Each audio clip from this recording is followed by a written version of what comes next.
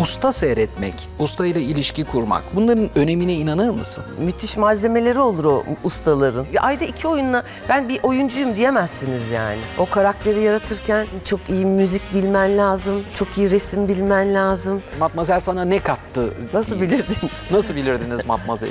Onun o e, Hazza hanımefendili asabımı bozardı yani benim. Böyle, Ay diyesim gelirdi. ya yer yarılsa içine girsek çünkü bunu toplayacak halimiz kalmadı durumuna geldin mi hiçbir oyunda? E, orkestra çukurundan bir kedi çıktı. Ağır bir sahne değil mi? Evet canım abla ne olur Ferhat'a kıyma abla dediğim bir sahne yani.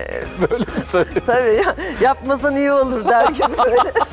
Zerrin Tekindor'un konuk olduğu Yekta Kopan'la set arası Dijitürk'te.